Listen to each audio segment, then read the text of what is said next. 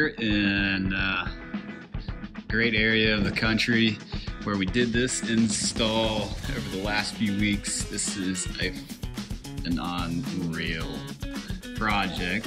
This is not for commercial use.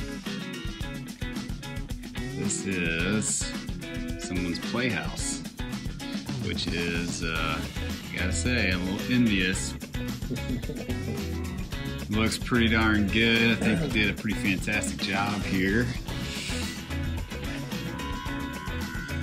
Did uh, big ass fans on this project. Did a large one here and did, can't see up there, but did uh, several. That's a fitness room that we did, a ballet room.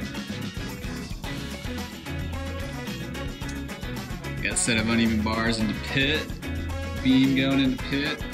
Got a full-size spring floor adjacent to a rod floor. Both have tumbling access to the pit.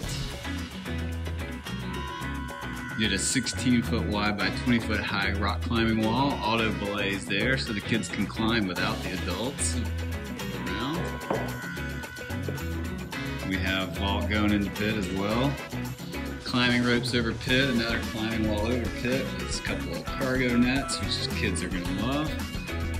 Two awesome tramps by Tramp Master. Those look really good. And then a 30 foot tumble track with red padding. Basketball goal. Basketball goal, basketball court. We did flooring for all this.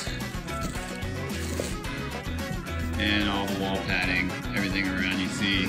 And we did this divider curtain as well.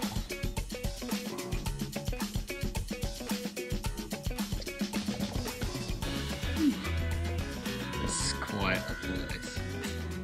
Yes, sir. AG.